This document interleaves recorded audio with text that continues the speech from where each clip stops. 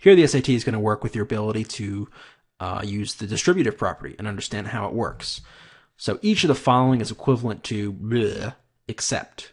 So we want to know which of these is not equal, right? Except not equal to this, based off of you can see the use of the distributive property. So we can go ahead and we would multiply this in, uh, or multiply part of it in or something to see what would equal what. So let's look at A.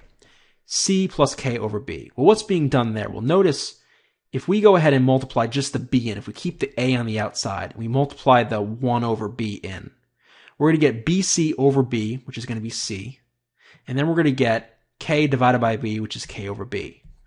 Notice this does not equal this because this whole over B thing just doesn't work at all.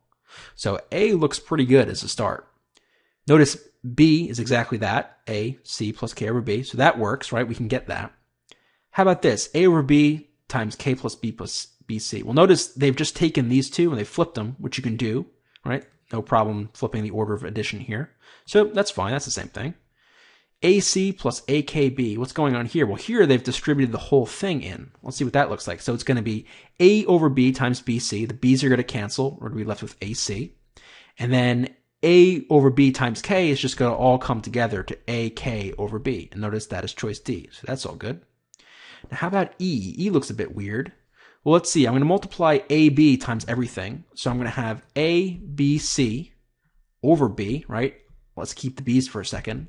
And then I'm going to have AK over B. Again, keep everything together. Can't really cancel anything here, but. And now if we add them, we just keep the denominator the same. We add the numerators. And then what do you know? This is E. So E works. So the best answer here is A.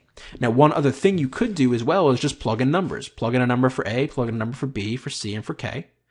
Get an answer. Hopefully it comes out neat. Plug all those numbers in here and see which one doesn't work. And you'll see that A doesn't equal the same thing. Now that actually might take longer than doing it this way because, and also maybe some more opportunities for mistakes if you don't do the math right. But overall could be a good backup method. So number six is going to be A. Note this is part of the grid in section. So this is a number six, but it's going to be a uh, four out of five in difficulty because it's that multiple choice near the end of the grid in, right? Number six, seven, eight are usually hard questions. So just be careful about that. And this is an example of one that is hard. Um, all right, let's move on to the next video.